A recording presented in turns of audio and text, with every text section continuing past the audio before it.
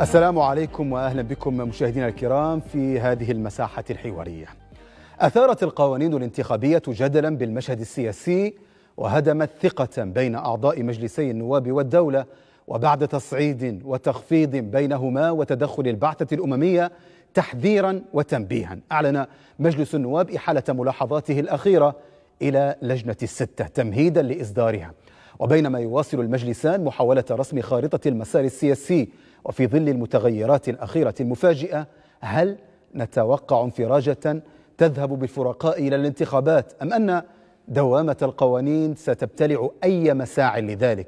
وإذا ما استمر التعطيل وانبثق خلاف آخر كيف يؤثر ذلك على المشهد السياسي؟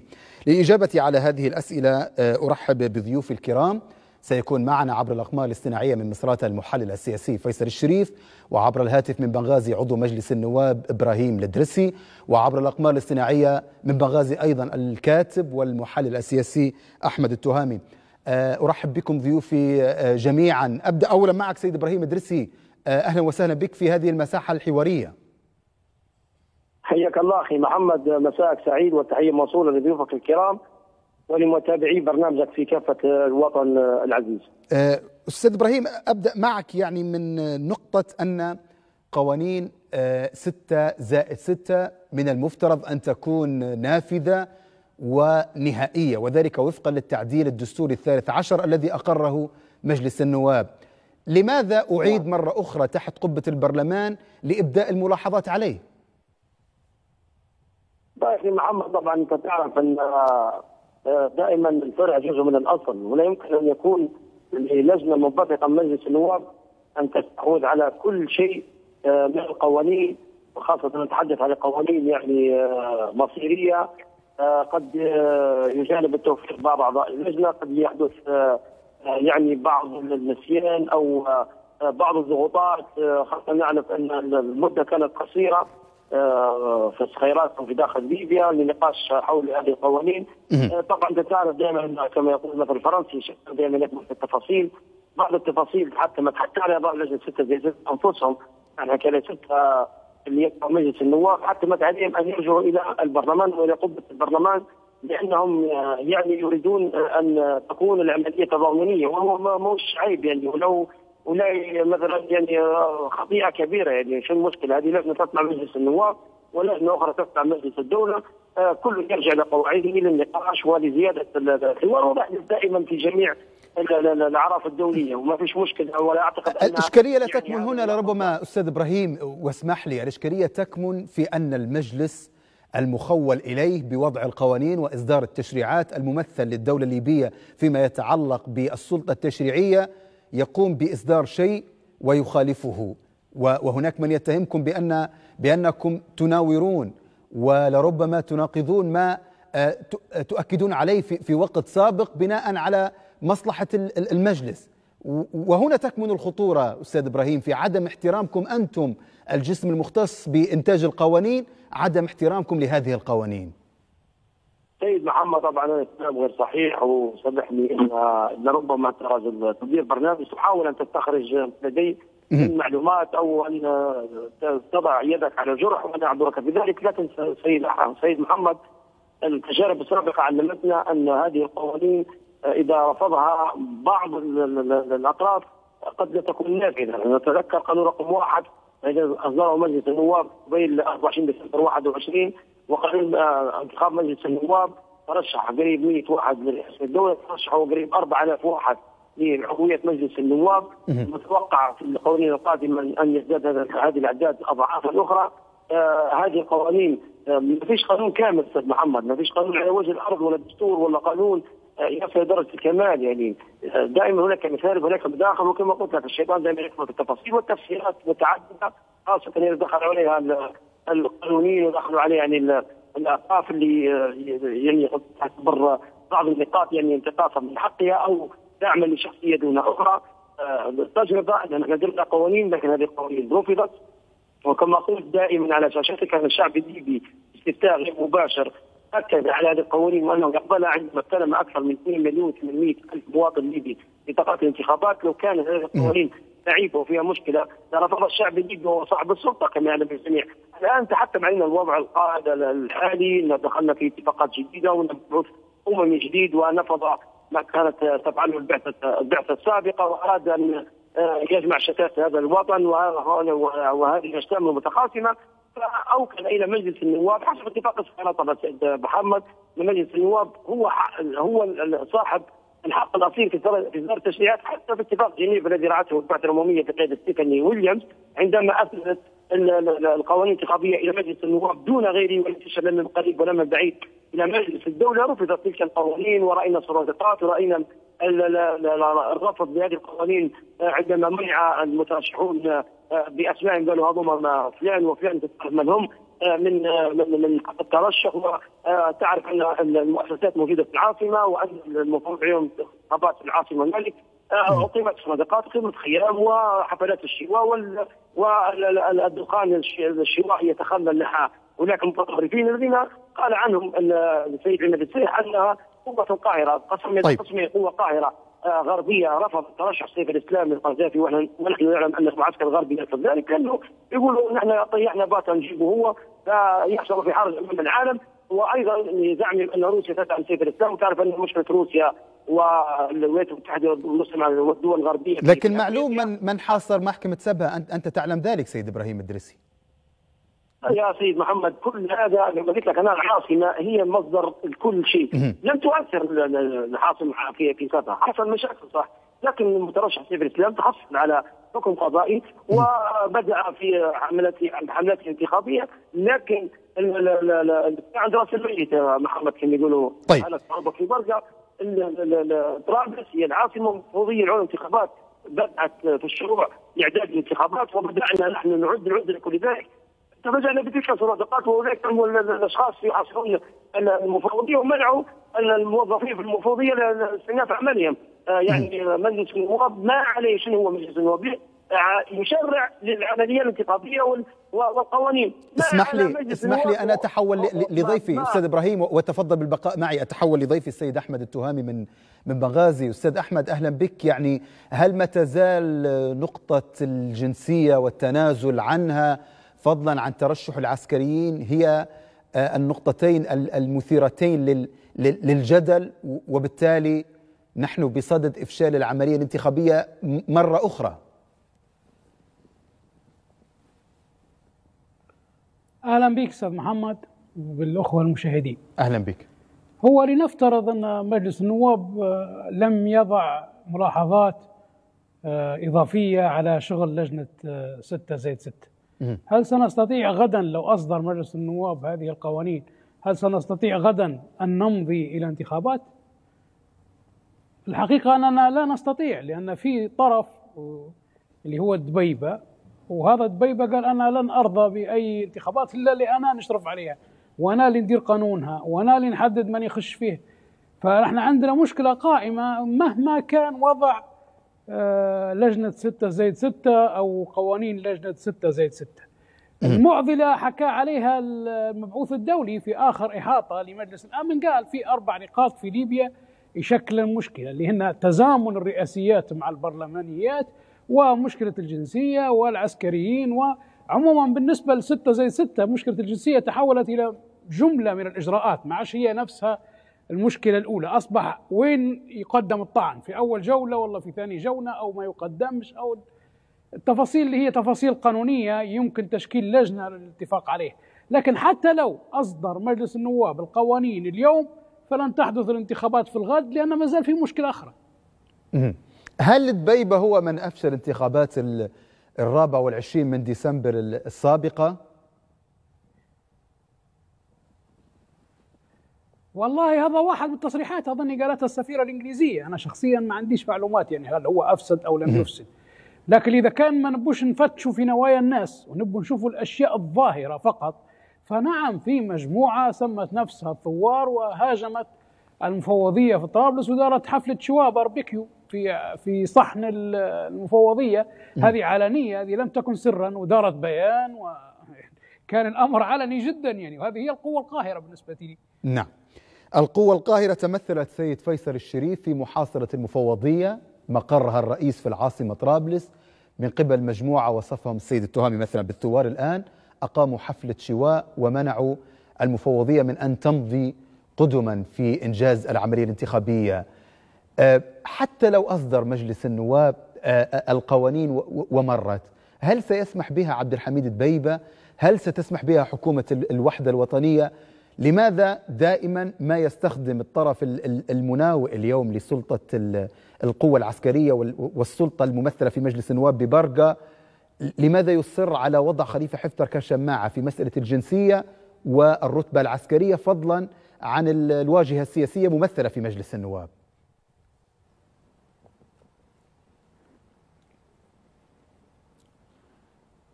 مساء الخير محمد لك ولضيفيك ومشاهديك الأكارم. أهلا بك. شوف يا محمد نحن إلى هذه اللحظة لا لم نتفق ولن نتفق حتى على عن حول توصيف المرحلة السابقة وعن الجملة من الإشكاليات التي التي كانت يعني تخللت تلك المرحلة. فالحديث على أن القوة القاهرة التي جاء عماد السايح أمام مجلس النواب وتحدث على أنها تتمثل في عدة آه، محاور منها أحكام المحكمة آه، أحكام المحاكم أو لجان الطعون. وكذلك ما يتعلق بالإشكالية في القوانين في حد ذاتها. وكذلك لا يمكن أن ننسى أو نغفل المراسلة وتوقيع مجموعة من النواب التي وجهت إلى عماد السايح وطالبته وحملته المسؤولية بأن عليه أن يوقف آه، يعني نشر القائمة النهائية للمترشحين فيما يتعلق بمنصب الرئيس هذه كلها لا علاقة لها لا بحفل شواء ولا ولا بمحاصرة مفوضية أو مقر مفوضية أو غيره من تلك المظاهرات لها علاقة بماذا؟ وهناك دائما والتعبيرات عن ال... هذه لها علاقة بأن بالفعل هناك فيتو قد ورد لي إلى إلى سايح وهناك مراسلة واضحة. اليوم محاولة اليوم يعني تعليق فشل الانتخابات على شماعة أن هناك عشرة ولا 15 تظاهروا في المفوضية وأن بالتالي هي أصبحت القوة القاهرة. لماذا لم يردها يعني السايح أمام مجلس النواب عندما جاء للمساءلة حول القوة القاهرة وقد عددها ولم يعدد من ضمنها أن هناك متظاهرين منعوه أو منعوا المفوضية. وبالتالي كل هذا مسجل وموثق. لا يمكن اليوم أن نرمي الآخرين بهذه الفرية. ثم يعني الحديث عن استلام استلام البطاقات الانتخابية على أنه يعد وكأنه الاستشهاد به على أنه يعني هذا دليل على أن الليبيين يوافقون على هذه الانتخابات. لا يعني تسليم العمل البطاقات الانتخابية. هذا عمل إداري فني تقوم به المفوضية. تقوم به حتى بمعزل عن وجود تشريعات أو غيره في فتح باب التسجيل والقيودات وغيره من هذه الأمور. كذلك يعني أن مجلس النواب هو المختص أو ال... الذي هو الذي يختص في هذه المرحلة وأن لديه هو السيادة المطلقة فيما يتعلق بالتشريعات المرحلية وأنا أقول هنا المرحلية لماذا؟ لأن حتى الحكم في الدائرة الدستورية فيما يتعلق بنقض أو اعتبار القانون رقم خمسة بشأن تشكيل المحكمة الدستورية العليا باطل أسس على أن مجلس النواب هذا تأسيس من من من يعني سلطة المحكمة الدائرة الدستورية أن مجلس النواب مناط به إصدار تشريعات مرحلية تعنى بطبيعة المرحلة بوصفه جسما انتقاليا مرحليا. اليوم بلغ من العمر عتية وأصبح يعني عشر سنين انطلق من عام ونصف يجب أن تمدد باستفتاء. اليوم إحنا أمام عشر سنين وبالتالي لا يجوز له اليوم أن يحتكر. هذه السلطة المطلقة لأن هناك طرف آخر من أطراف الصراع هو غرفة ثانية يشاركه بموجب الاتفاق السياسي. وإذا قال لا يشاركني سأقول له لماذا اعتمدتم التعديل الحادي عشر الذي بموجبه دسترتم الاتفاق السياسي؟ وجملة أحكامه تقول أن المجلس الأعلى للدولة شريك في إصدار هذه القوانين المرحلية منها قانون الاستفتاء على مشروع الدستور قاموا بتشكيل لجنة 6 زائد 6 سيد فيصل. هم هم هم اليوم هم اليوم بالتشارك والتوافق مع الأعلى للدولة. أنتجوا هذه القوانين قوانين 6 زائد 6 وشكلوا لجان لها. والآن أيضا يعودون لإبداء بعض بعض الملاحظات عليها. وبالتالي لماذا تتحدث على عدم إشراك الأعلى للدولة والتحكم بشكل مطلق من قبل مجلس النواب بشكل منفرد؟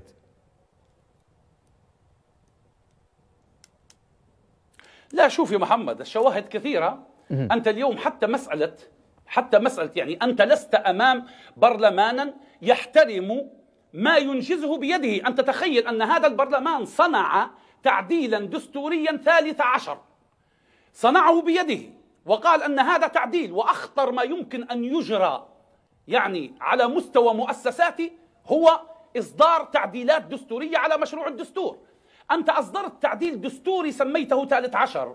ومن ضمن هذه النصوص الدستورية الواردة في هذا التعديل الدستوري كما أشرت يا محمد أنت هو المادة 30 المادة 30 فقرة فقرة ألف أو فقرة باء. عندما تحدثت على أن فقرة باء عندما تحدثت على أن الأعمال التي تقوم بها لجنة ستة زائد ستة هي ما يصدر عنها نهائي ولا يجوز لمجلس النواب أن يعدل فيه بأي شكل من الأشكال طيب. أنت أصدرت هذا النص وأصدرت هذا التعديل الدستوري عندما تأتي أنت لتخالف تعديلك الدستوري وتنتهكه بأي حجة كانت هذا لا يعطيني اطمئنانا بأنني سأأتمنك في قابل الأيام على مستقبل العملية الانتخابية برمتها. وضحت تماما. أستاذ إبراهيم الدرسي ما الذي ناقشتموه اليوم تحت قبة البرلمان وأبرز الملاحظات على ما خلصت إليه لجنة 6 زائد 6 بداية محمد داري يرد على مغاضبة السيد فيصل الشريف الذي ينطبق عليه قول المثل العربي رمت البداية ونسلم السيد عماد الساعة أول شيء مش ملزم أن يقول من هي القوة القاهرة لأنها ظهرت التلفزيون يعني والناس كلها شافتها. هم رفضوا أغلقوا أبواب المفوضيه العليا للانتخابات ومنعوا الموظفين بما فيهم السيد عماد السيح من الدخول. هذا شافوه اللي كلهم وأمامهم على شاشات التلفزيون وقاعدين التسجيلات وتهديداتهم بإغلاق أبواب المفوضية العليا للانتخابات. بعدين سيد فيصل الشريف مجلس النواب جيش التشريعي فيه أكثر من 100 نائب بالمنطقة الغربية من اقليم طرابلس وفيه 38 نائب من من من أقليم فزان. والباقيين 60 اللي تو قريب نص الموت واللي استقالوا من برقع. الله يرحم الميتين. وهذا مجلس التشريعي يعطي كل مرحلة لا تستلزمه من قوانين وتعديلات اتفاق الصخيرات قال أن مجلس الدولة مجلس الدولة الاستشاري الاعلى أعلى جهة استشارية. يستشير مجلس النواب في عدة نقاط الميزانية في كذا والى اخره إلى آخره. اتفاق جنيف الأخير اللي انبثق منه المجلس الرئاسي برئاسة السيد محمد المفي وحكومه الوحدة الوطنية برئاسة عبد الحميد الزبيبه أعطى الحق الأصيل والكامل لمجلس بقرار مجلس الاعلى لمجلس النواب لإصدار التشريعات والقوانين. الرد الآخر سيد محمد وسيد فيصل مغالطات كثيرة للاسف الشديد أنا نسيت كثير منها انه قال والله درتوا تعديل الدستور الثالث عشر وقلتوا إن قرارات اللجنة زي ستة نهائية اللجنة يا سيد محمد لم تصدر قرارها لم تقل ان إحنا اتفقنا على كذا. عادوا إلى قواعدهم للتشاور شو مشكلة يعني. عدنا عاد إلى قواعدهم للتشاور وما غيرنا شيء. المشكلة فيش أستاذ محمد؟ لا لا اسمح لي اسمح لي سيد إبراهيم اسمح لي أن أنقل لك بيان لجنة ستة زائد ستة. أكدت صحة وسلامة الاتفاق على مشروع صياغة القوانين الانتخابية بالتوقيع والتصويت عليها بالإجماع. وهذا ليس بيانا نصيا بل بيان متلفز ومرئي. اسمح لي اسمح لي اسمح لي. أن أن أن خلاصة التعديل ال 13 استند للإعلان الدستوري أو خلاصة القوانين التي أقرت من قبل لجنة 6 زائد 6 استندت إلى الإعلان الدستوري وتعديله الثالث عشر. وما توصلت إليه اللجنة يعد نهائيا وملزما لمجلس النواب لإصداره دون أي تعديل. هذا بيان لجنة 6 زائد 6 وهو يناقض كلامك سيد إبراهيم. لا ابدا ابدا سيد محمد. عندما يقول لك ال ال نعم. عندما يقول لك نهائي وملزم نهائي وملزم. اللفظة اللفظة من حيث المفردة واضحة أستاذ إبراهيم. سيد محمد دعني أجيبك. تفضل. البيان والقرارات والاتفاقات تصبح نافذة بعد أن يعلن عنها. كان كان الاتفاق ان يأتي رئيس مجلس الدولة السابق السيد خالد المصري ورئيس مجلس النواب السيد عقيله صالح للإعلان النهائي عن اتفاق آه، آه، آه، المغرب الجديد هذا 6 زي 6 حصلت إشكاليات في مجلس الدولة ومجلس النواب. إن نحن تونا اتفقنا على 6 زي 6 إن في نقاط لازم لا يمكن التراجع عنها. وهي اصل اصل حتى في الدستور في حاجات اسمها في مواد محصنة. ما يقدرش حد يغيرها. ما تقدرش تغيرها حتى في نقالك انت في حاجات تبي تحذفني يقول لك ولا مش تحذفني هذه قعدات ثابته ففي أمور ثابتة يا شيخ محمد دكتور أستاذ محمد. ما يقدرش لازم زي ستة تتجاوزها. النقاط الخلافية الكبيرة اللي إحنا آه، أكدنا عليها وحنجاوبك على الشق السؤال بتاعك آه، ناقشنا اليوم الأخير. من بين مترشح للرئاسة تحصل على 90% يقول لك لا آه، لازم الجولة الثانية. هل يعقل هذا. تو سيد رجب طيب أردوغان رئيس الدولة التركية. كيف نجح؟ بكم عدد الأصوات؟ في الجولة الأولى ما في اصدار كذا وكذا، في الجولة الثانية ممكن فرق واحد ونص أو أقل من ذلك محمد الديمقراطية، الديمقراطية هي حكم الأغلبية ولو 1% كيف بدك تجي تقول لي والله يتعطل 90% ضروري يعاود يقول لك دخل معي يتعطل 10% و5% و3% مرات. إذا كان خمسة ست وحدين معاه واحد حصل واحد واحد حصل اثنين. هذه من النقاط إحنا ناقشناها وناقشنا كثير من النقاط. طيب اسمح لي سيد إبراهيم اسمح لي اسمح لي اسمح لي ردا اسمح لي لا لا لا أستاذ إبراهيم رجاء في, في النقطة التي أشرت عليها. حضرتك وقعت لي بيان كنت رقم 61 وهذا البيان عده الكثير من المتابعين والمراقبين بأنه سبب إيقاف الانتخابات بحسب تصريحات رسمية نشرت لرئيس المفوضية السيد عماد السايح.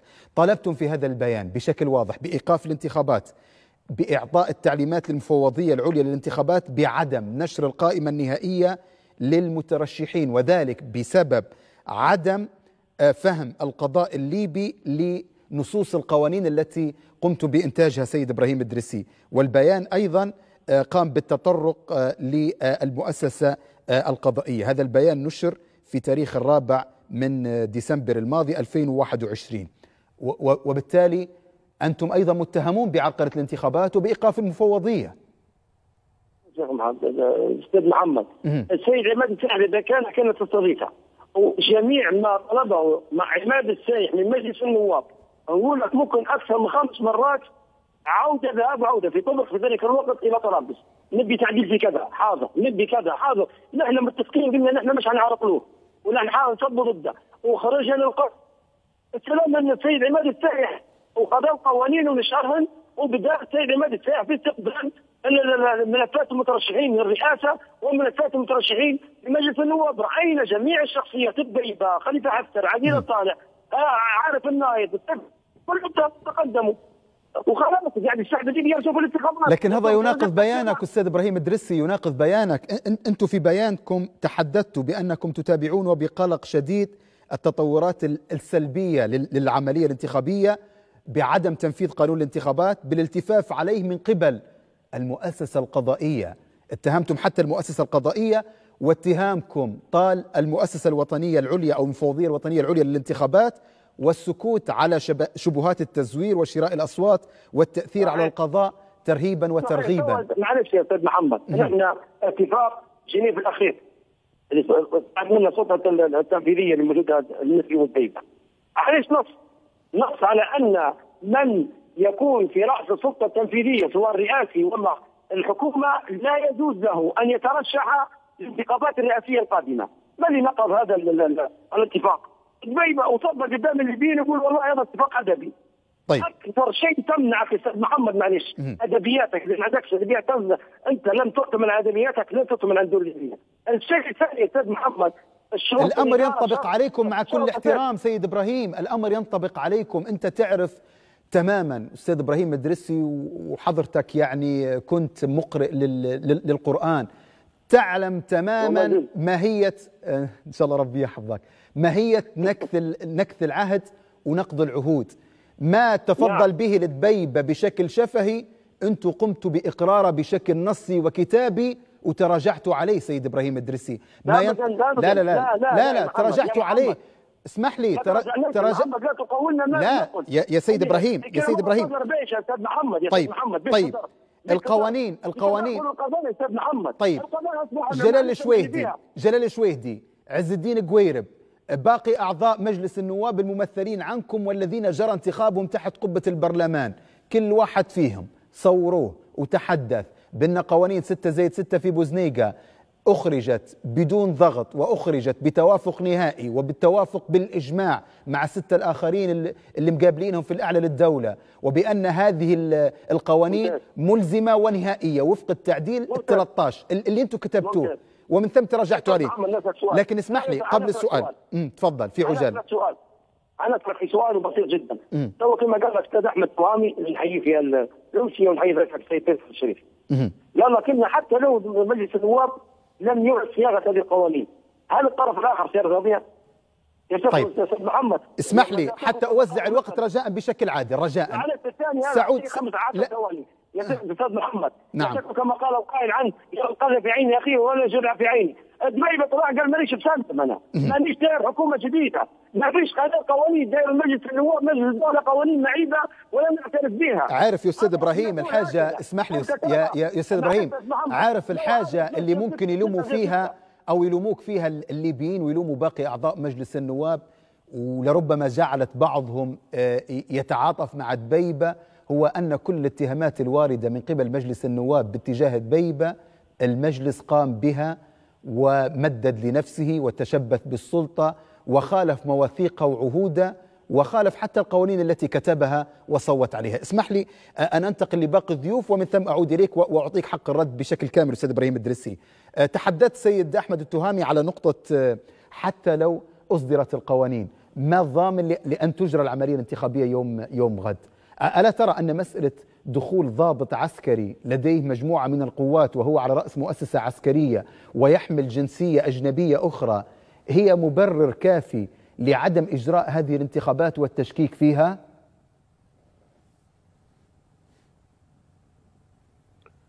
أستاذ محمد الانتخابات لم تكن مقترحا ليبيا صرفا يعني انتخابات كانت قرار دولي مؤتمر برلين السفير الأمريكي السفير الإنجليزي هذول كلهم قالوا يجب ان تجرى انتخابات و...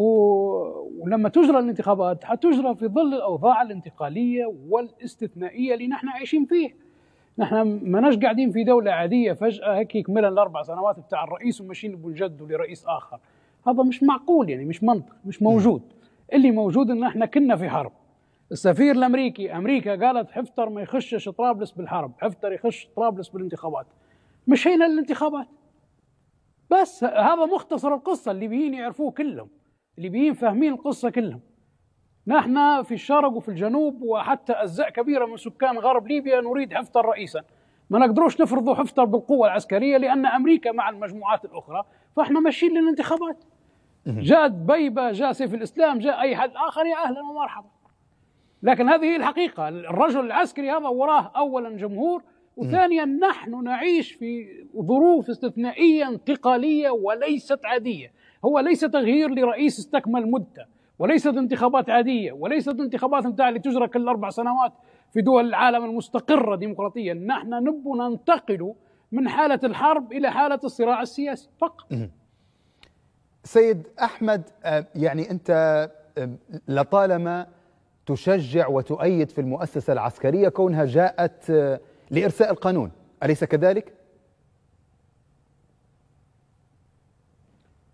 لا حتى هذه آه، مش دقيقة. طيب في ظل في في ظل السلطة من وجهة نظري تقوم على امتلاك القوة. مهم. خليني أشرح لك. تفضل. السلطة تقوم على احتكار القوة مهم. أو احتكار التهديد بها هذه تعريفات موجودة. تقدر تقراها في العلوم السياسية. ال- الحكومة السلطة الدولة باش تتأسس لازم يكون الحكم القوة في يد جهة واحدة. هذه الجهة بعد ال 2011 تفتتت. أعاد الجيش الوطني تجميع هذه القوة في يد واحدة. نحن ما زلنا برضو نحكي لك نحن هذا كله في في فترات انتقالية في في مراحل انتقالية. بالتالي أنا أدعم الجيش الوطني لأنه يجمع القوة في يده. طيب اسمح لي أن أصيغ أصيغ العبارة بشكل آخر. أمريكا. طيب أصيغ العبارة بشكل بشكل آخر سيد أحمد التهامي يعني لو لو كانت هذه القوة تفضل. أو لو كانت عملية الكرامة احتكمت إلى القوة دون قانون فهي ميليشيا. لابد ان ان ان أن الجيش أو المؤسسة العسكرية أن تكون خاضعة للقانون بشكل أو بآخر. أليس كذلك؟ نعم هي خاضعة للقانون هذه ما فيهاش مشكلة. يعني طيب قانون العقوبات العسكرية. ما نحكوش على إن هي خاضعة القانون اسمح لي سيد القانون. اسمح لي. قانون العقوبات العسكرية وقانون الخدمة العسكرية وهذا قانون من أيام معمر القذافي. يعني ليس قانون أقره الثوار أو أقرته الميليشيات.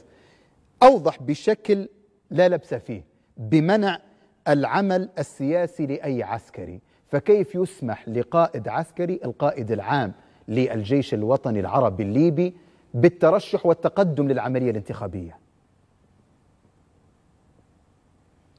حنعود لنفس الكلام. هذا مقترح دولي ما هوش مقترح مني أنا. طيب. أنا كنت ضده أنا مش مش مقتنع بحكاية الانتخابات هذه كلها بك. أنا كنت أدعم دخول الجيش بالقوة إلى طرابلس. جت طيب. الولايات المتحدة وتركيا وقفت ضد دخول الجيش. شنو نديروا يا ولايات متحدة؟ قالت خليفة حفتر يمشي يدخل الانتخابات. طيب. خليفة حفتر مش هبي يدخل الانتخابات اسمح لي أن أنتقل اعترض للس- الاخرون اسمح لي أن أنتقل اضطرب للسيد. فيصل. اسمح لي أن أنتقل للسيد فيصل لكن هناك نقطة أخرى سيد سيد أحمد التهامي لربما تضعف حجتك ممثلة في أن كيف من الواجب آه، يعني أن تتبع مؤسسة عسكرية آه، تنفذ القانون لا تطبق القانون على قياديها.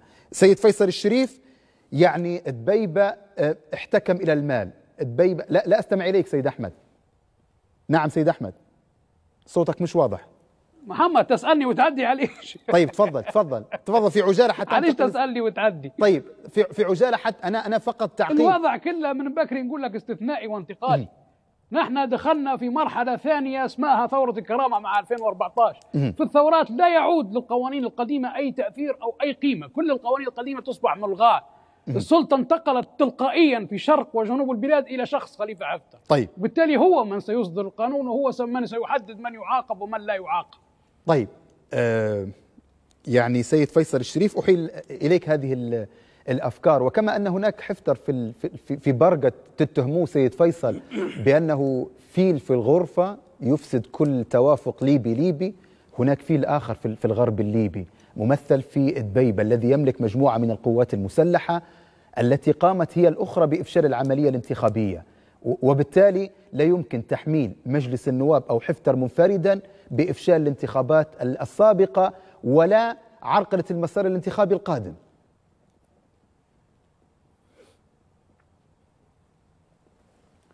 جيد يا محمد يعني يعني أحمد التهامي صريح في كلامه بشكل وواضح في كلامه. وواضح في تأييده لخليفة حفتر بأنه يريده أن يكون رئيس البلاد وهذا أمر واضح.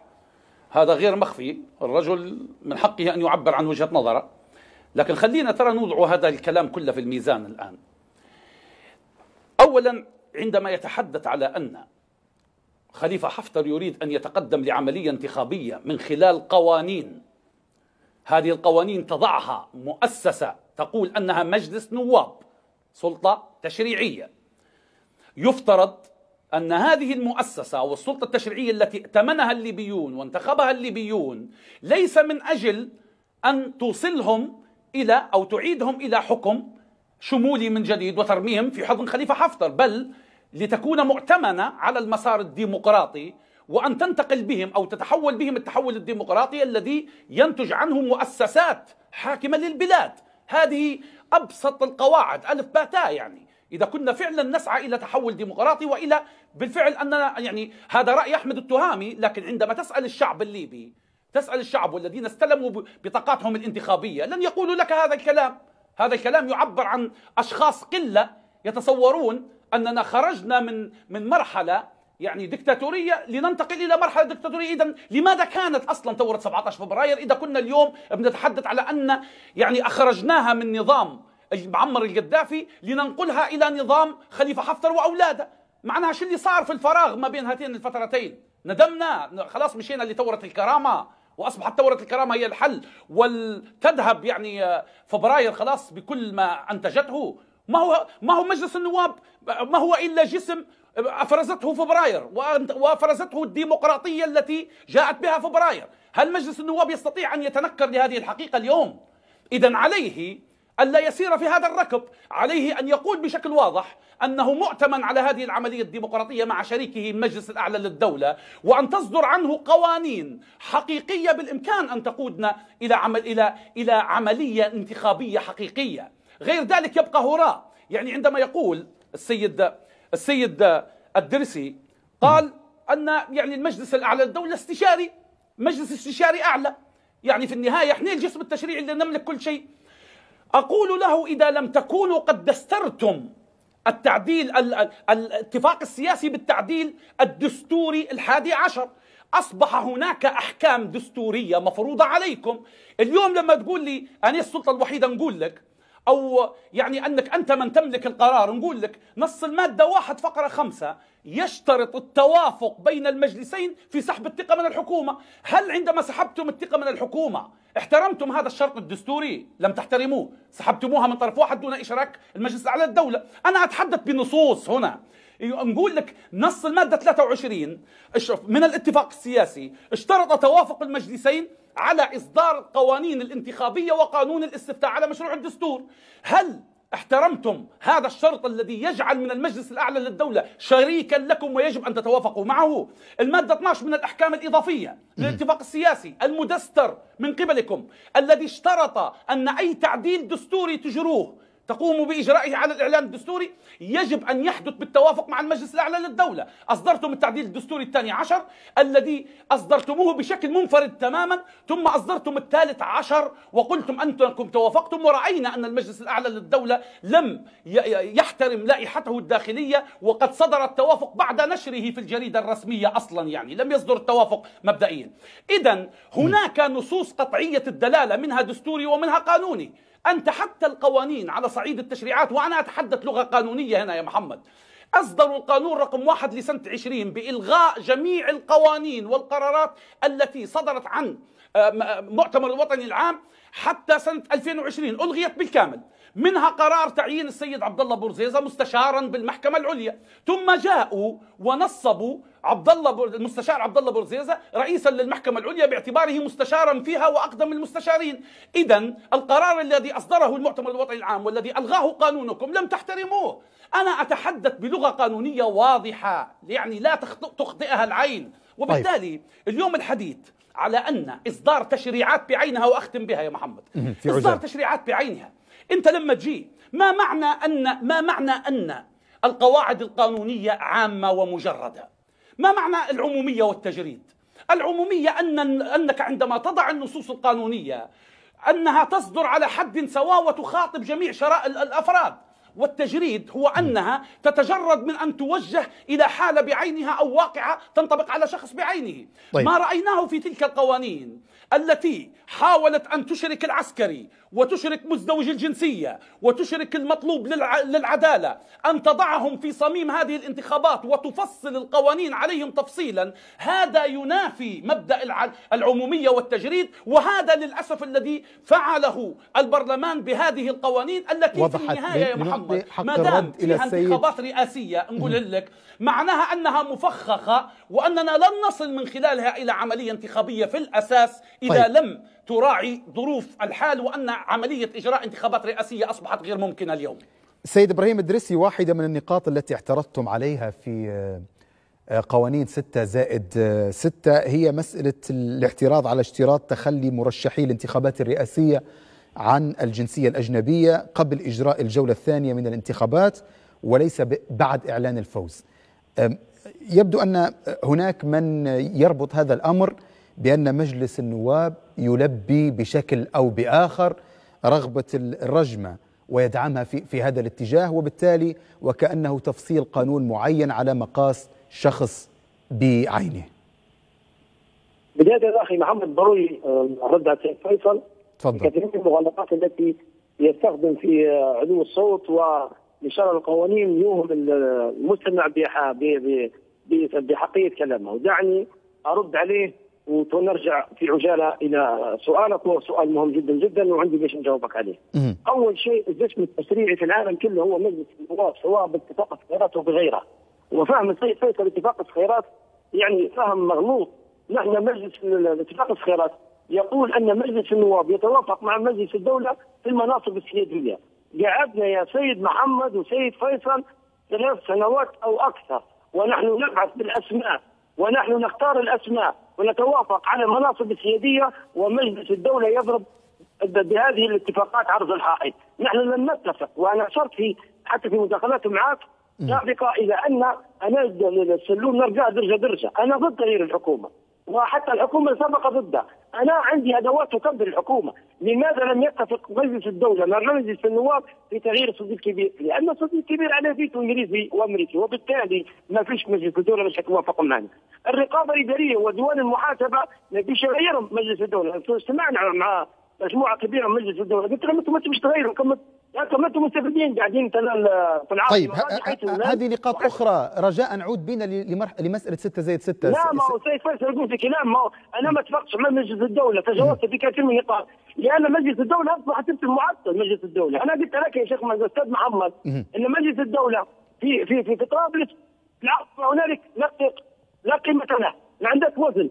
وزنه هو غادي لمناكفات فقط سياسيه ولعقد مجلس النواب وغرفة أخرى صفة معطل لمجلس النواب لوصول اتفاقات، أما على الأرض لا يوجد لديه أي قوة أو قدرة لعرقلة أي عمل يقوم به السلطة التنفيذيه والسلطة الامنيه في طرابلس أو الرقابيه، ما هم هم هكذا. مزروعين زرع بيش يخالفوا مجلس النواب ويقفوا ضد أي توافق لمجلس النواب مع مجلس الدولة مع احترامي وتقديري كثير من الناس الوطنيين واللي يبغوا يوصلوا لحل في ليبيا اذا هم صادقين أستاذ محمد كلام الفيصل إذا صادقين نبدأ درجه درجه حتى إذا طيب حتى حتى تستفيد من وقتك يا سيد إبراهيم وفي صلب الموضوع من ضمن النقاط التي نعم. اعترضتم عليها وناقشتموها اليوم وأمس هي مسألة الجنسية ال ال ال ال الأجنبية وعدم التخلي عنها قبل إجراء الانتخابات في الجولة الثانية وإنما بعد الفوز. فيه من قال إن هذا البند يفصل بشكل واضح على مقاس آه، خليفة حفتر. مش الدور النوابي بعدين أنا ما في عجالة أستاذ محمد. مجلس النواب شرعا. وعندما شرعا وصاحب السلطة كلامك صح أنت في آه، نظام السابق بتاع العسكريين يحضر عليهم من العمل السياسي مجلس النواب فتح أمام العسكريين وبعدين كما قال لك أستاذ أحمد القاضي المرحله الانتقالية اختلط الحافل بالنابل وقاشت الناس في بعضها. والآن بنديروا يعني اتفاق عرفي ما بين اللاعبين هو الدستور أو الذهاب للانتخابات إذا الباب مفتوح واتفاق أحمد كل اللاعبين يترشحوا استثناءات أو لا. عندنا 100 مترشح لرئاسة الدولة أستاذ محمد. 100 مترشح هم قريب 40 واحد فيهم أو أقل منهم بقليل عندهم جنسيات أخرى بشكل أو اخر تعثروا على الجنسيات تعثروا رئيس المؤتمر الوطني الأول من قريه ألم تكن جنسيته أمريكية؟ طلب منه أن يتنازع عن جنسيته الأمريكية. وغيره وغيره وغيره حتى كثير من الضيوف اللي يخرجوا علي علي علي قناته. في اللي تو سيب وقاعد في أمريكا. قاعد العوده يجي أسبوع ويغيب شهرين قاعد في أمريكا غادي. فلان فلاني. طيب. لكن منصب رئيس لكن منصب لكن منصب رئيس منصب رئيس الدولة يختلف. أنت حتى مسألة الرتبه عفوا مسألة الرتبه العسكرية. لا يا, يا سيدي إبراهيم اسمح لي. بلاد برا يا محمد. طيب. وعايشين. وعندهم عقاراتهم. وعندهم عندهم خدمتهم غاد. وفي في اللي عندهم ابنائهم في واحدين ابنائهم ما فيش دقيقه والله أنا عندي جنسيه انجليزيه سويسرية سويدية أمريكية كندية هندية قاعد غادي وحياتي حلوة. عادي اذا تبي تحكم ليبيا ولا تبي تقعد رئيس أنا مش مستعد. على جنسيتي. من الظلم ان نطلب من واحد يطلع واحد رئيس الدولة و99 والله آه، في اسمح لي يا سيد إبراهيم اسمح لي تو تو أنت بدري ذكرت لا لا اسمح لي اسمح لي. انت أنت بدي ذكرت ان لا لا لا حنعطيك حنعطيك هي الاستدراك عليك. أنت بدري قلت إن الجزء يعود على الكل وليس العكس. هذه قاعدة بديهية في في علم المنطق لما تحدثت على لجنة 6 زائد 6 هذا الأمر أنا أعاود لك بنفس حجتك وتبريرك بأن مثلا الجزء هنا خليفة حفتر هو من المفترض أن يكون منصاع تحت قبة مجلس النواب لا قائد أعلى فوق آه، مجلس النواب وشرعيته. وبالتالي خليفة حفتر مثلا في قصة الإجازة لم يتقدم لا إليكم أنتم بطلب الإجازة في مسألة آه، آه، يعني الثلاث أشهر قبل الترشح للعملية الانتخابية ولا للمجلس الرئاسي الذي يمتلك صفة القائد الأعلى اليوم وهي أعلى من القائد العام. ورفضتوها من دبيبة وإن ما, ما قدمش استقالته وإن ما طلبش إجازة. فكيف قبلتموها من حفتر ورفضتوها من دبيبة يا سيد إبراهيم الدريسي؟ ما قدمش دبيبة يا محمد لم يتقدم دبيبة باستقالته قبل موعد ولم يقدم حفتر. وهل قدم حفتر؟ يا سيدي حفتر أسمع. يا سيدي حفتر يا سيدي حفتر سوريا. يا سيدي حفتر ضرب البرلمان في السيف لكن ما طلب منه حسب اتفاق جميع الدارة قدم استقالته. يا سيدي جمع الدار بجنبه وعبد الرزاق الأوكرانيين وعقيلة صالح قمعت في في, في, في الدار أنا وصوت الولي قاعد في الدار اللي جنبه أنا أقول بالظاهر يا محمد لكن أنت تعلم أستاذ إبراهيم أستاذ إبراهيم أستاذ إبراهيم وانت وأنت لا, لا تخفى عليك الحكمة والذكاء والتعاطي السياسي يعني. أنت تعلم ان تعلم أن هذا نوع من من التلاعب والالتفاف على القوانين اللي المفروض انكم إنكم أنتم كأعضاء لمجلس النواب تحصنوها وتحموها وتحفظوها وتكونوا واجهة حقيقية لتطبيق كل القوانين والتشريعات لأنكم جسم تشريعي. نعم نعم أستاذ محمد أنا مأمور ناخذ بالظاهر، القانون قال يقدم ثلاث قبل ثلاثة أشهر من موعد الانتخابات الرئاسية قدم الاستقالة، خليفة حتى قدم الاستقالة، ابن عادي ندور أقول وين قاعد ولا في شديد عشان صالح نفس القصة. الدبيبه رفض طيب. الدبيبه يقدم يا سيدي الدبيبه قدم استقالته وطلبوا جناح صاحبه جناح اليمين هو اللي يسيروا بينهم الدبيبه هو يسير. هو هو هو هو مفروض أن كونكم أنتم مسؤولين وكلفتوا خليفة حفتر كونه قائد عام للجيش أنه يعود لكم وتحققوا معاه وتتأكدوا من آه، سلامة تطبيق كل هذه القوانين سيد إبراهيم الدرسي لكن اسمح لي أن أشرك زميلك في المجلس الأعلى للدولة آه، سيد ماما سليمان وهو أحد أعضاء لجنة الستة زائد ستة الممثلين عن آه، مجلس الدولة. أهلا وسهلا بك سيد ماما. نعم. فقدنا التواصل معه. سأعود إليك مرة أخرى. يعني سيد التهامي حول ذات النقطة التي لم نستكملها معك. حفتر لم يحترم قانون الخدمة العسكرية لم يحترم قانون العقوبات العسكرية وهو شخص ملزم بشكل أو بآخر باحترام القانون آه، العسكري. كيف تلومون على دبيبة بعدم تطبيقه للتعهد بينما تسمحون لحفتر بالتدخل في في هذه العملية الانتخابية رغم عدم احترامه للقانون اللي هو من المفترض انه يكون نافذ له ومطبق له أو مطبق له عفوا.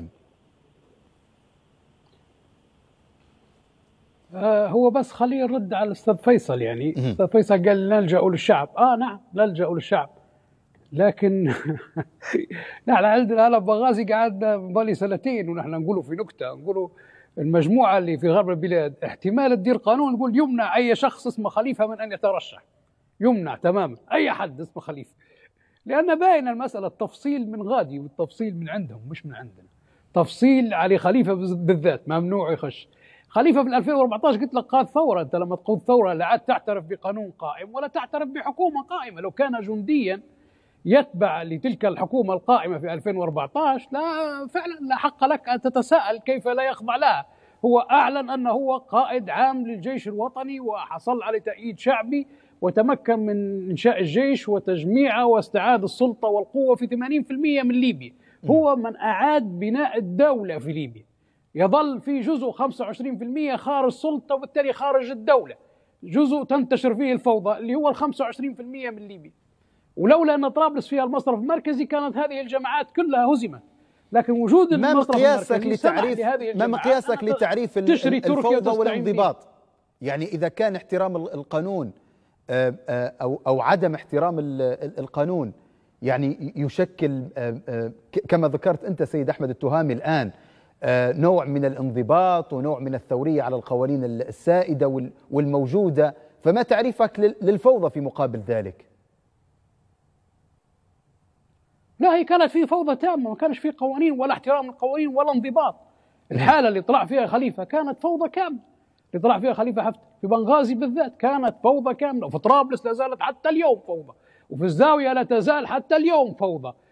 هي حالة فوضى مستمرة منذ 2014 منذ 2012 في طرابلس وفي الزاوية وانتهت في بنغازي وانتهت في مناطق شرق ليبيا ومناطق جنوب ليبيا على يد خليفة حفتر لأنه تمكن من استعادة وبناء الجيش من جديد. هي كانت حالة فوضى تامة بمعنى أن حالات القتل اليومية حالات المطاردات في الشارع المدنيين الناشطين المدنيين كانوا يمشوا لعند تبستي باش يتظاهروا يطلع لهم الميليشيات وتطلق عليهم النار. هذه معروفة يعني.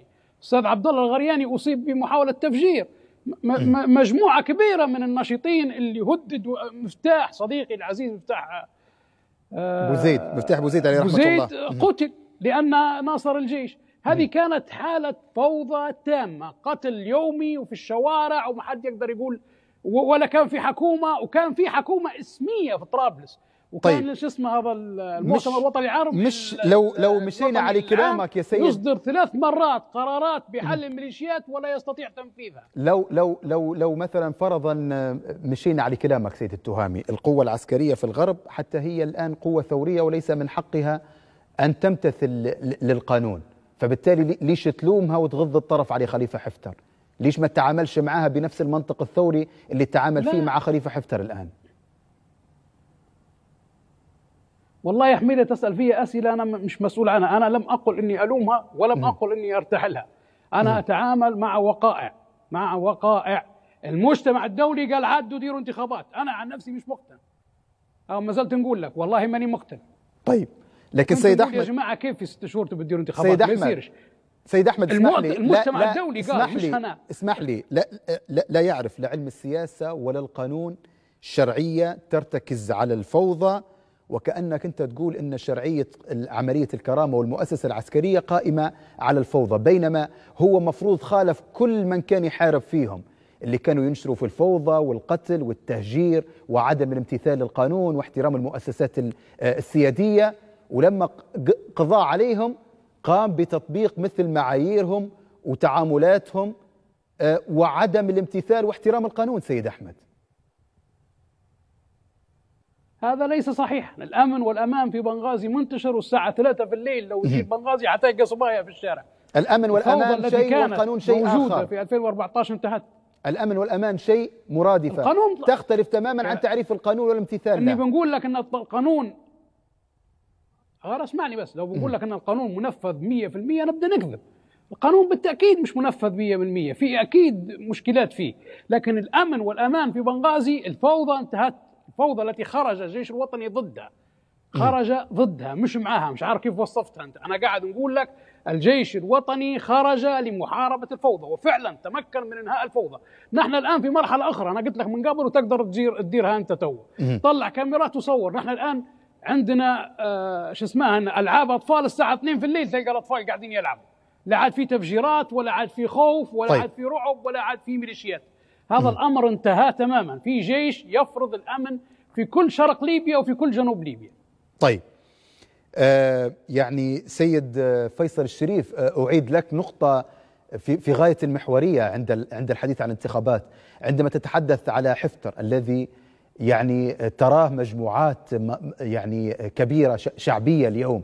في بعض المناطق ببرقة وفزان رجل منقذ وواجهة وطنية لتأسيس لبنة مؤسسة عسكرية تعيد القانون والنظام إلى ليبيا.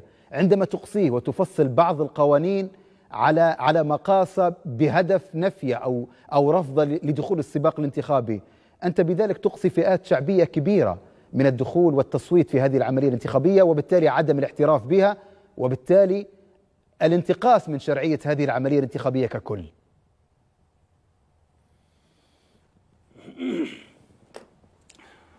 شوف يا محمد اولا السيد إبراهيم قال فيصل يقول مغالطات ويستخدم الصوت العالي. ممكن السيد إبراهيم أن حريص على أن يسمع بشكل جيد أن يسمع بشكل جيد النصوص القانونية والدستورية التي سقتها قبل قليل. وبشكل واضح كي يرد علي بما له أصل من هذه السندات أو القانونية والدستورية، يجب أن يرد علي بما له أصل ثابت في هذه السندات ويرد علي بالنصوص التي إن أراد لي إن أراد مني أن أعرضها عليه سأعرضها عليه نصا نصا. وهي واضحة بذاتها ولا تحتاج إلى عناء شرح ولا تأويل ولا تفسير. هذه واحدة. ثم السيد أحمد يقول لك كذا قام بثورة كرامة.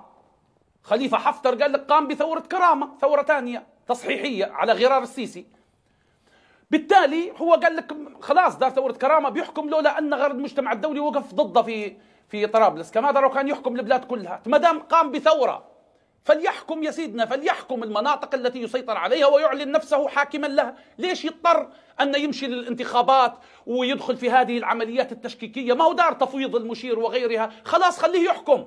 ليحكم المناطق ويعلن نفسه حاكما عسكريا على المناطق التي يحكمها ويقول راهو بلاش اللي ما تخضعنيش يدي مارقة ولا تتبعني ولا وجود الانتخابات ويلا بالسلامة. لدينا اليوم مناطق تحكم حكما عسكريا وبالتالي خلي حتى البرلمان يشوف روحه إذا كان صدر هذا هذا الإعلان.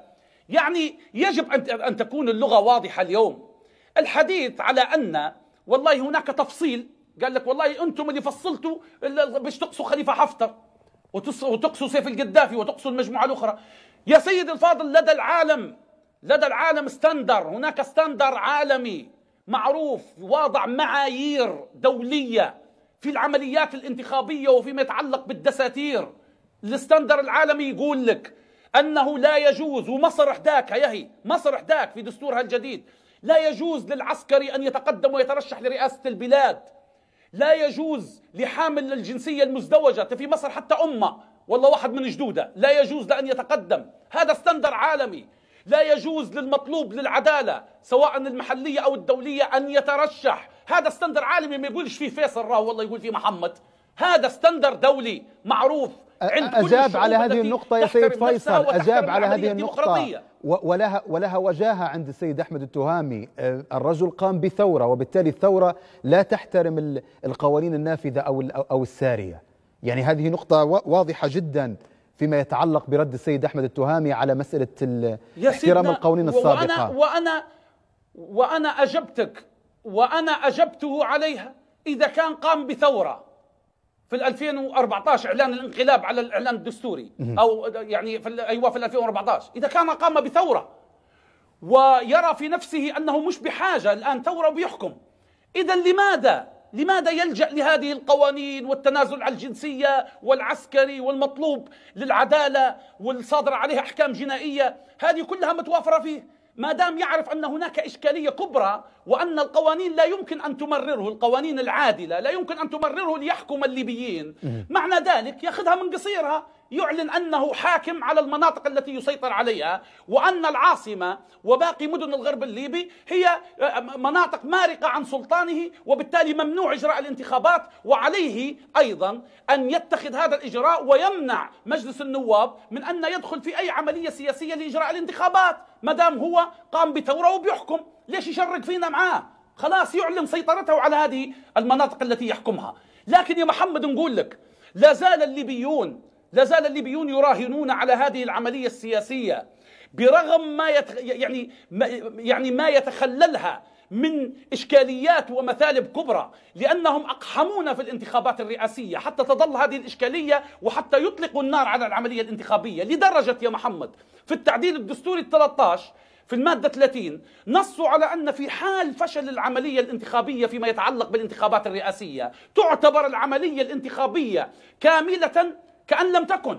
وبالتالي وهم يعرفون. يعني هل تد... أنت تعتقد أن خليفة حفتر بيخش للعملية الانتخابية حتى لو سلم من كل هذه الشروط بيرفع يافطاته وبيدير دعايته الانتخابية في ليبيا كلها والله واحد من خصومه بيديرها في ليبيا كلها؟ وبيرفع يافطاته وهناك رضا وهناك توافق حقيقي على القبول بالنتائج. هم يدركون أن العملية الانتخابية فيما يتعلق بالانتخابات الرئاسية أصلا موضوع نص لها لضربها في الصميم. طيب. والهدف هو القفز على سلطة تنفيذية. اليوم أنت لما تقول أن عبد الحميد دبيبة مثلا في في اتفاق جنيف قال أن هو والله التزام أدبي ومانيش ملتزم به. نقول لك شيء واحد. الكل ذهب للطعون. ألم يطعن على على دبيبة طعن عليه. إذا كان بتقول لي لا معيار أدبي نقول لك المعيار الأدبي طبق أيضا على خليفة حفتر.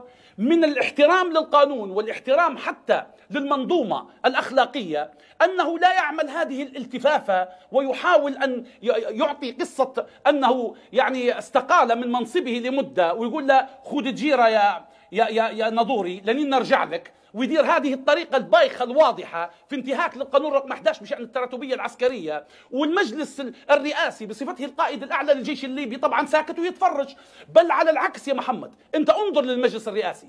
السيد المنفي لما يجتمع برئيس الأركان محمد الحداد يكتب على صفحته أنه اجتمع معه بصفته القائد الأعلى للجيش الليبي، لكن لما يجتمع مع خليفة حفتر يكتب أنه اجتمع معه على أساس انه صفته رئيس المجلس الرئاسي، لا يجرؤ حتى على أن يكتب أنه طيب. بصفته القائد الأعلى للجيش الليبي. اسمح لي أن أنتقل للسيد إبراهيم الدرفي أن للأسف أن الكل يريد الكل يريد أن يورطنا في قصة اسمها هذا الفيل الموجود في الغرفة. طيب. خليفة حفتر إذا كان أردت أن تحكم وتريد أن تحكم المناطق التي تسيطر عليها تفضل. أما في الغرب الليبي لم يستطع بالبندقية ولن يستطيع لا بانتخابات ولا بغير انتخابات. طيب سيد إبراهيم الدرسي يعني آه، اسمح لي أن أنقل لك وجهات نظر بعض آه، المتابعين والمراقبين والضيوف أيضا. كيف تتوقعون أن يقبل كثير آه، من من الليبيين أو كثير من الأطراف السياسية بالقوانين الصادرة منكم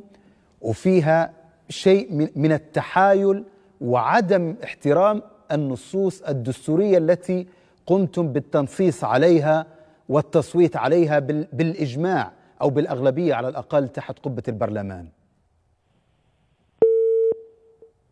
نعم أستاذ إبراهيم. أتمنى معاودة الاتصال مرة أخرى بعضو مجلس النواب السيد آه، إبراهيم الدرسي آه، أعود بالسؤال إذا إلى أن يجهز مرة أخرى أستاذ إبراهيم الدرسي إلى السيد آه، أحمد التهامي. أستاذ أحمد يعني لربما هنا اختلط الحديث فيما يتعلق بمسألة من يقود ثورة له الحق في أن يثور على على القوانين الموجودة اليوم على على الأرض الليبية وهي قانون نافذة منذ آه، تقريبا أربعة أو خمسة عقود آه، آه، ماضية. وهناك مسألة أخرى. كيف لقائد مؤسسة عسكرية نعم أن يدخل إلى العملية الانتخابية وهو يمتلك كل هذه القوات وكل هذا النفوذ العسكري وكل هذه المناطق التي يسيطر عليها بالقوة؟ يعني أنت تناقض المنطق وتناقض أي منطق ديمقراطي حصل في أي دولة حتى في جمهورية الموت سيد أحمد التهامي لم يحدث هذا الأمر. أولا نحن نحكي على فترة استثنائية لا زي ما قلت لك يعني هذه ليست انتخابات لتبديل رئيس بعد أن انتهت مدته. والليبيين عارفين الكلام هذا. وبالمناسبة الليبيين ال standard العالمي اللي يحكي عليه أستاذ فيصل الشريف بسيطة يعني أنا نقول لعدي أسأل الناس في الشارع أقول لهم في standard عالمي يقول ممنوع مزدوجي الجنسية يدخلوا الانتخابات وممنوع العسكريين يدخلوا الانتخابات. نسألكم أيها الليبيين الستاندر العالمي هذا يمشي معانا؟ كان قالوا لك يمشي معانا؟ يبقى والله رأيك كويس. قالوا لك ما يمشيش معانا؟ يبقى كلام آخر. وإحنا قلنا في النهاية لأن في إجبار دولي في موقف دولي في أمريكا وفي تركيا تقف مع هذه الجماعات نحن مضطرين نمشي الانتخابات مش قناعة بالانتخابات. ما تقعد المسألة والله هل يستطيع أن يعمل دعاية انتخابية أو لا يستطيع؟ هذه مسألة تقدر تراقبها أي جهة محايدة تابعة للأمم المتحدة. مجموعة من القضاء من روسيا من قطر من مصر من أمريكا من مختلف الدول اللي هي على علاقة بالطرفين وتقدر آه، تراقب إذا كان إجراءات إعلان الترشح تمت وسمح بإجراء الحملات الانتخابية أم لا. نحن نحكي على ظرف استثنائي ما نحكوش على ظرف عادي. لكن يا سيد أحمد اسمح لي يا سيد أحمد سيد أحمد مع, مع كامل الاحترام طالما إنك أنت واثق تمام الثقة بأن حفتر منقذ وأن حفتر واجهة وطنية وأيقونة كما ذكرت أنت سجلها التاريخ الليبي سواء رضى من رضى ورفض من رفض. وأن حفتر يمتلك اليوم 80% من من القوة على الأرض ولديه نفوذ شعبي ولربما قاعدة جماهيرية في برقة وفي فزان وحتى في كثير من طرابلس الغرب. ليش ما يتنازلش على الجنسية الثانية؟ ليش ما يتنازلش صحيح. على الرتبة العسكرية ويدخل ويفوز بنسبة 99.9% لماذا لا يقبل بالشروط الانتخابية ويرفضها سيد أحمد؟ تعال نناقشوا مسألة الجنسية. كل اللي حكموا طرابلس من بعد 2011 عندهم جنسية مزدوجة. كلهم بما في ذلك اللي توه. مش تعرف إن هذا شيء مفصل ضد خليفة حفتر تفصيلا. وإذا كان تمتع خليفة حفتر بالجنسية الأمريكية يسمح له إنه يناور في معركة قضائية ضد الإخوان في أمريكا فأنا معاه. من حقه يكون قوي ومن حقه يمتلك الأدوات اللي تسمح له بالدفاع عن نفسه. ومن بينها أن يكون عنده الجنسية الأمريكية. تعال مسألة أنه هو قائد هو عنده أقوى من ذلك هو عنده الالتفاف في القاعدة الجماهيرية هو عنده الإرث التاريخي هو عنده آه، آه، ثورة الكرامة كما ذكرت سيد أحمد التهامي. هذه مش معركة. هذه كافية باش يحتمي بيها. في التاريخ وفي التاريخ سجل مش معركة تاريخ يا سيد لك. لا لا ما على التاريخ. في التاريخ خلاص استسجل إنه هو طيب آه، التاريخ زمان حتى هو آه، زمان ولا الرجيك لا لا اسمح لي. التاريخ سجل حتى معمر القذافي وبعد 2011 آه، الكثير خرج من أقرب الناس إليه ولربما ناقضوه واتهموه وكذبوه وحتى سبوه وشتموه. وبالتالي التاريخ أنت تعرف سيد أحمد أن حاجة لا يمكن التنبؤ بها وما هيش مقياس ثابت في الحديث. لكن اسمح لي في نقطة مثلا كل من حكم طرابلس. يسي كل من حكم طرابلس في, في فترة سابقة ما عندهمش كل هذا التأييد الشعبي. لم يدخلوا للتاريخ ذهبوا إلى مزابل التاريخ مع كامل الاحترام لهم يعني لو مشيت أنا في, في منطقك. لكن خليفة حفتر يملك ما لا, ما لا يكن يملكه هؤلاء. ليش ما يتنازلش على هذه ويثبت بأن الشعب والناس معاه؟ أعطيني فرصة نقول لك. تفضل. أنا ما نحكيش على أن هم مشوا المزبر التاريخ ولا مشوش مش هذا موضوعي. أنا أحكي لك أن هذه الجماعات نفسها مجموعات اللي موجودة في غرب البلاد اللي تشترط إن مزدوج الجنسية لا يسمح له بالترجع قبلت ورضيت أن يحكمها مزدوجي الجنسية. مش تعرف إن هذا قانون مفصل تفصيل ضد خليفة حفتر وقلت لك أنا ما نحكيش على ان معركته في التاريخ ومعركته في قلوب الليبيين هذه حيكسبها اليوم ولا بكرة. والقذافي لما قام بثورته كانت الدولة قائمة لكن خليفة لما استعادوا بناء الجيش كانت الدولة قد انهارت هنا الفارق. هنا الفارق اللي يؤكد أن الرجل عنده دور تاريخي مختلف.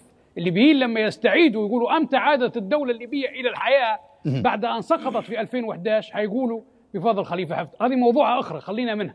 بس هو النقاش مش إذا كان الليبيين يحبوا خليفة أو الليبيين ما يحبوش خليفة. النقاش إذا كان في معركة قضائية تجري سيد فيصل نعم. المتحدة ويستفيد خليفة من جنسيته الأمريكية فيها فيجب أن لا يفرط فيها. هذه رقم واحد. تعال لي مسألة أنه هو قائد الجيش. أنا قاعد نقول لك هذا اقتراح أمريكي إجراء الانتخابات مش اقتراح أحمد توان ولا اقتراح خليفة ولا اقتراح حتى مصر. هذا اقتراح أمريكي. الأمريكان قالوا خليفة حفتر ما يخشش طرابلس بالقوة خليفة حفتر يخش بالترشح. جاء كان بالترشح؟ عدوا يجروا الجماعة هذه ما داروا بيانات. فكيف تبي يسيب الجيش؟ إذا الجيش هو عنصر القوة الذي يضمن إنهاء الفوضى. تبيه رئيس شكلي زي محمد المنفي؟ ما ينفعش. لازم يكون رئيس حقيقي بكل معنى الكلمة.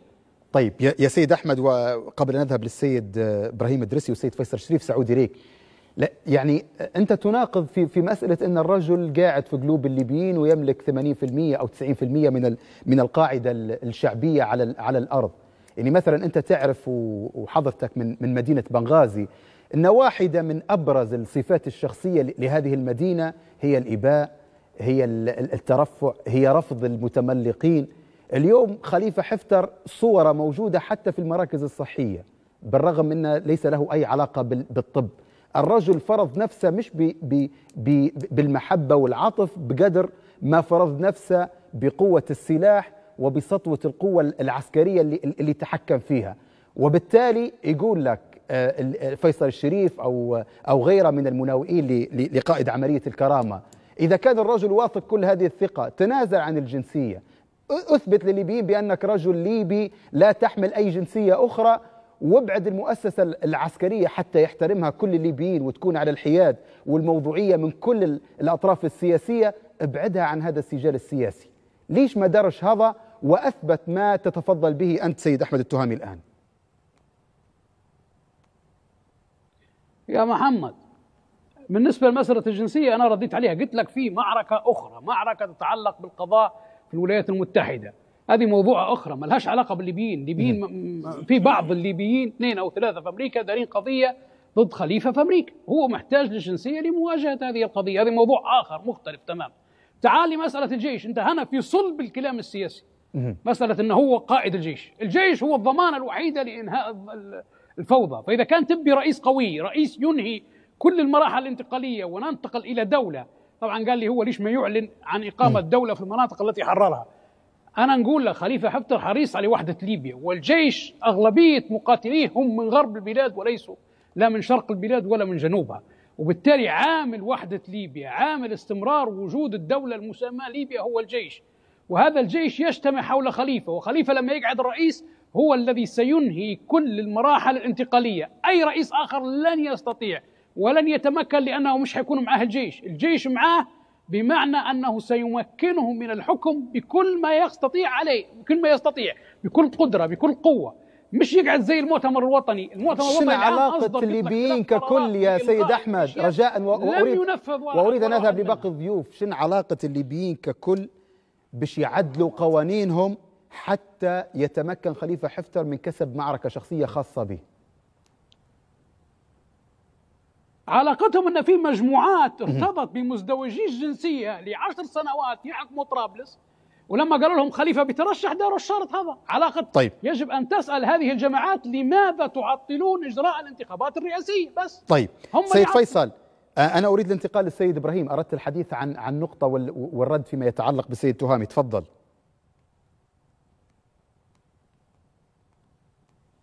لا تفضلوا اعطيني دوري يا هذا دور بر- سيد إبراهيم. تو اعطيه له يا محمد. طيب. أعطيني دوري. طيب تفضل بالبقاء معنا. شكرا لك. السيد آه، إبراهيم الدرسي أهلا بك. أنت معي على الهواء مرة أخرى. أليس كذلك؟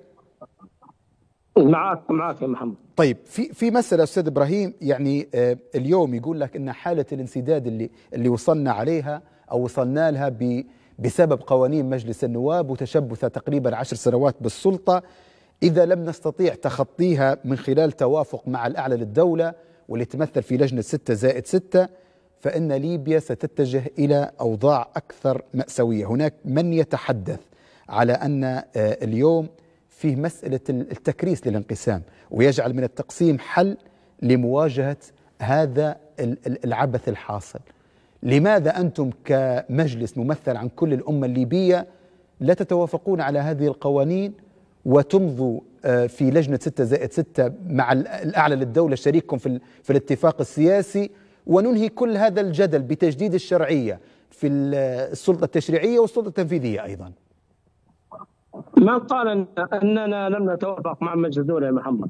التعديل الدستوري 13 توافقنا مع مجلس الدولة وعقدوا جلسة السيد فيصل وبعض ال- ال- ال- الأخوة في المنطقة الغربية يقولوا لا جلسة غير صحيحة ولكن لم نرى طعون عليها لا في داخل الجلسة ولا في القضاء. وبالتالي آه الجلسة صحيحة وتوافقنا مع مجلس الدولة وأفرزنا لجنة 6 زي 6 ومجلس الدولة عندما عادت الستة آه، تعيين مجلس النواب إلى قوة البرلمان لم يعترض. والآن أتممنا ملاحظاتنا وأرسلناها لمجلس الدولة والبعثة الأممية والأمور إن شاء الله متساهلة، أنت بدري سألتني سؤال يا محمد قبل ينقطع بيني وبينك ال- ال- الخط. تفضل. أنا أتكلم معك في كلام ولدي قناعات أخرى، هذه قناعات أشار إليها السيد فيصل الشريف بدري. قال لك حتى في لو اجرينا الانتخابات الرئاسية هل يستطيع خليفة حفتر يدير دعايته في المنطقة الغربية أو دبيبة ومن لف لفيفه أن مثلا يدير دعاية في المنطقة الشرقية وفي المناطق اللي تحت سيطره القوات المسلحة. أنا نقول لك على حاجة يا أستاذ محمد. أنت سألت عن القوانين. أنا أقول لك إن ندير في القوانين. في القوانين خاصة انتخاب رئيس الدولة. وأنت تعلم أن الديمقراطية حكم الأغلبية. الأغلبية في ليبيا كيف يا شيخ أستاذ محمد؟ قد يكون المترشح الفائز بالرئاسة. نعم سيد إبراهيم. سيد إبراهيم. طيب بسبب ال- الكهرباء لربما آه، تواجهنا مشكلة في التواصل مع سيد إبراهيم الدرسي في حال عاد س- سأعود إليك مرة أخرى لتوضيح هذه النقطة سيد إبراهيم. وأنوه إلى أن آه، الانقطاع في الخط حصل منك وليس من من قبلنا. نتيجة نعم. عاد مرة أخرى سيد إبراهيم الدرسي تفضل. أكمل بدأ ما بدأته أستاذ إبراهيم. والله مش عارف وين وقفت لأن أنا اتكلموا فيها فيما يتع- في في صوت في- صوتك في فيما يتعلق أنا. بمسألة ال- الأكثرية وفق التعريف السياسي الليبي. وقفت عند هذه النقطة. شنو نحن يا أستاذ محمد؟ كما يقول لك عم توامي و... والواقع نتاعنا نحن في خصام سياسي في خصام عسكري في خصام جهوي في خصام فكري. ما قدرش حد ينكره. الديمقراطية تفرز لك واحد فايز باقي 49% الآخرين. لديهم قوات لديهم داعمين داخل وخارج متمركزين في منطقة معينة. بالتالي أنا أعتقد أن ال- الإفرازات الرئاسة ست- ستقودنا إلى حرب أهلية. بمعنى أنا أقول لك الآن هنالك وفاق أقل شيء مجتمعي آه، مناطقي ما بين الليبيين دبيبه يخدم في المنطقة الغربية لديه إنجازات ما حد ينكرها المنطقة الغربية وبالذات العاصمة فيها شيء من الأمن مرتبات ينزل آم، المكافآت المشاريع الدولة في المنطقة الشرقية والجنوبية. آه، رأينا كتيبه طارق بن زياد. آه، تخدم في سبها لدرجة أن نائب رئيس وزراء ووزير الصحة أبو جناح يشكر رئيس آه، أمر الكتيبة العميد صدام لأن أمن وأمان وتم في إعمار.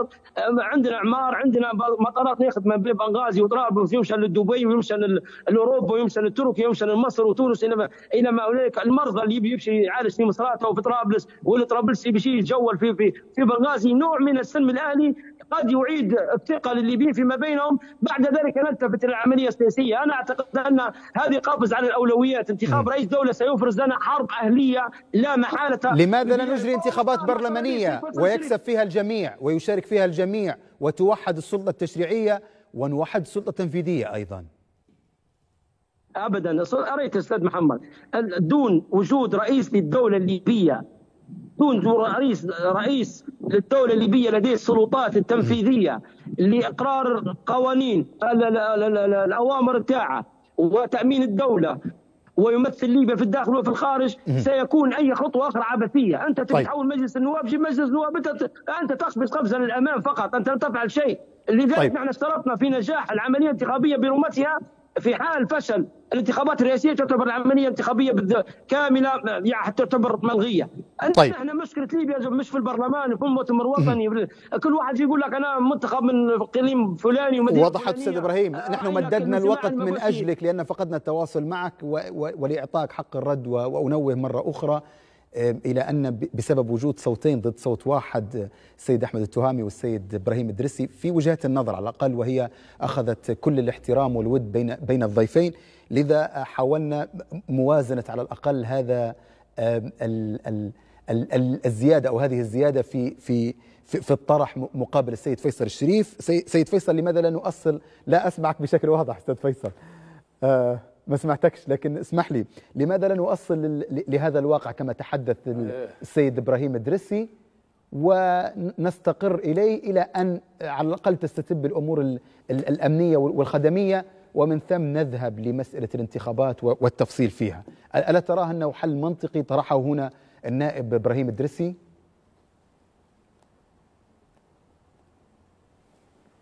شوفي محمد أولا راهي قصة أنك وازنت في الوقت بصوتين ضد صوت راهو أعتقد أنك تحتاج إلى مراجعة الحلقة. لكن لا لا وزنت عبر عبر استدراكاتي أنا أقصد وليس الوقت عبر يعني استدراكاتي على الضيوف وتوضيح أفكارهم. هذا ما قصدته فقط. كويس. تمام محمد شوف. شوف هو هو هو السيد الدرسي يعني يعاني من إشكالية في التناقض مع نفسه. هو في البداية قال كلام جيد يعني قال أن الانتخابات الرئاسية غير ممكنة. واقعيا غير ممكنة. ومن ناحية نصية أيضا هناك نص آه، جاهز لإطلاق النار عليها. لأن لأن هذا النص في حال فشلت الرئاسية ستفشل معها البرلمانية. كلامه هنا أتفق معه. لكن بعدين تناقض مع نفسه. قال لما قلت له أنت لماذا لا نجري انتخابات برلمانية؟ لأن الانتخابات البرلمانية ممكنة. قال لك مستحيل عبث لازم انتخابات رئاسية. باهي طيب ما دام الانتخابات الرئاسية غير ممكنة وفي ظل هذه الظروف غير ممكنة ولن تتأتى. اذا لماذا لا نذهب إلى الانتخابات سواء إذا كانت مجلس الأمة أو انتخابات تشريعية مباشرة لكي نفرز جسما برلمانيا تشريعيا واحدا تتوحد تحته جميع المؤسسات التي قسمها مجلس النواب. جعل جعل ديوان محاسبة غادي وديوان محاسبة هنا ورقابة إدارية هنا ورقابة غادي وحكومة هنا وحكومة غادي. وعدد وعدد ولن تحصي حتى محكمة دستورية عليا. ثم في معرض الرد على السيد أحمد التهامي قال لك خليفة حفتر يعني هو الآن الذي يقود لأنه هو الذي قاد ثورة الكرامة وحمى آه، برقة من الإرهاب. هو السؤال اللي يطرح نفسه. عندما حارب الغرب الليبي كاملا يعني أكبر تجمع للإرهاب في أكبر معقل له في شمال أفريقيا في سرت وانتصر عليه ودحره. لماذا؟ في ذلك الوقت لم يأتوا بشخص ويقولوا له أنت المشير الذي حررتنا ويلا راهو أنت اللي آه، تحتك الغرب كله أنت وأولادك ودير فينا اللي تبيه دير فينا ما تبي. لماذا لم يفعلها في الغرب الليبي؟ لماذا لماذا سلمتم له أنتم هناك؟ رغم أن حتى واحد من أولاده ما خبشش حتى الخبش. تماكم قتلتوا بأولادكم وقدمتوا بأولادكم لماذا تنصبونه؟ ثم نجيك تقول لي أيقونة. وهل هناك أيقونة عسكرية؟ يعني تم أسره واتفاقية جنيف تتحدث بشكل واضح على منع آه، إعادة من تم أسره في حروب إلى المنظومة العسكرية. ثم هل هناك أيقونة عسكرية انقلبت في بلادها في قرنين متتاليين في القرن العشرين والقرن الواحد وعشرين؟ هل هناك أيقونة عسكرية هزمت في قرنين متتاليين في القرن العشرين وفي القرن الواحد وعشرين؟ يعني أي أيقونة عسكرية هذه اللي نراها اليوم تعبت بالمشهد الليبي كله وتفصل القوانين على أساسها؟ يقول لك الجنسية بقى يا سيدنا حول الجنسية غادي دعنا نتحدث في مسألة من صدرت عليه أحكام جنائية. هناك حكم جنائي بالإعدام في التسعينات وهناك يعني قبل ثورة فبراير وهناك حكم بعد ثورة فبراير عليه. شنديروا فيه هدايا؟ هناك أيضا مسألة أنه جنرال عسكري القانون اللي أشار لك محمد ليه قبل قليل اللي هو قانون العقوبات العسكرية والإجراءات العسكرية يقول بمنع بل ويضع عقوبات عقوبات جنائية على كل من يشترك عسكري يشترك في العمل السياسي. يعني كل قوانيننا وكل تشريعاتنا وكل الستاندر العالمي اللي تحدثت لك عليه من قوانين موجودة ومصر في جنبك كله نرموه في سلة المهملات ونقولوا الأيقونة. خليفة حفتر والله لازم يترشح ولازم يحكم الليبيين. باهي لو خسر يعني حتى ترشح وخسر حطها فرضية. بترجع شنو؟ قائد عام. طبعا. ليش؟ لأن عقيلة قالها. وهذا أحد التعديلات اللي حتكتشفوه في قوانين 6 زائد 6 أن عقيلة قال لك كيف؟ هذا موظف. قائد عام موظف. يتقدم يترشح للانتخابات وإذا خسر يرجع قائد عام من جديد زي ما داروا لنا في 2021 يرجع لك قائد عام باش لو وصل شخص آخر رئيس للدولة هذا لو وصل وهذا لن يتحقق طيب. طيب. يقول لك والله إني قائد عام وبرغبه الجماهير وأنا نسيطر على 80% ويا تخضع لي يا ترومني يا نكسر قرنك. يعني أي دولة تؤسس على هكذا يعني نمط وعلى هكذا يعني تصورات هلامية لا علاقة لها بالواقع المعاش ولا علاقة لها بإحلام الليبيين الذين يتطلعون لدولة مدنية ديمقراطية بعد كل هذه التضحيات. طيب في أقل من دقيقة لأنك ذكرت السيد أحمد التهامي ونحن وقتنا أزف وانتهى فقط حق الرد لك سيد أحمد رجاء. على هو بنقول له فعلا يعني خليفة حفتر جزء مهم من التاريخ الليبي. يعجبك الأمر هذا ما عجبكش فعلا شارك في في في ثلاث ثورات حتى مش ثورتين. ثورة الفتح في سبتمبر في 69 وثورة فبراير وفي ثورة الكرام.